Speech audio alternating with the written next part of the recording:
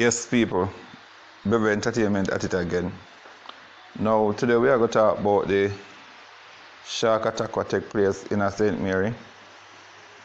There was a shark kill a fisherman sometime last week.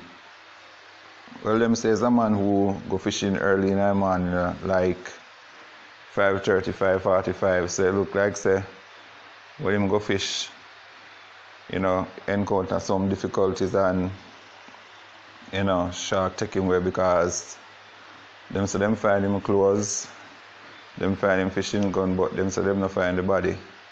So people have to say shark kill him. Why? You rough out a scene and that's why people always say, you know, when is the fisherman with them fish, no matter how much them a sell it for, pay them feet because a whole heap of stuff and a whole heap of judgment them face out to sea when them go to go fish. Them have barracuda for face, shark, and piranha and you know, whole heap of fish out there for face, you know.